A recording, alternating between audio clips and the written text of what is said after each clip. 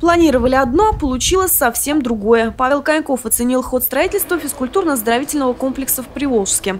Первоначально хотели возвести центр с универсальным игровым залом и бассейном стоимостью в 500 миллионов рублей. Анализ ситуации показал, что такие финансы э, в самое ближайшее время мы направить сюда не сможем. Э, и решили не делать долгостроя, умерить немножко аппетиты и построить здесь пока универсальный спортивный зал, сметная стоимость э, порядка 80 миллионов рублей.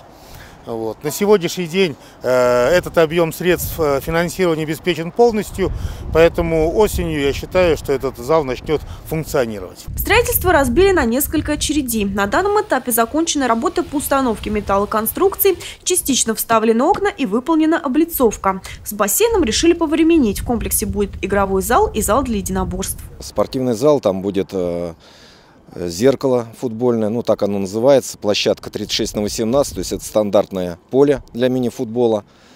А на втором этаже, вот где вот у нас э, тренерские, душевые, там будет э, два больших зала, два татами уже для борцов.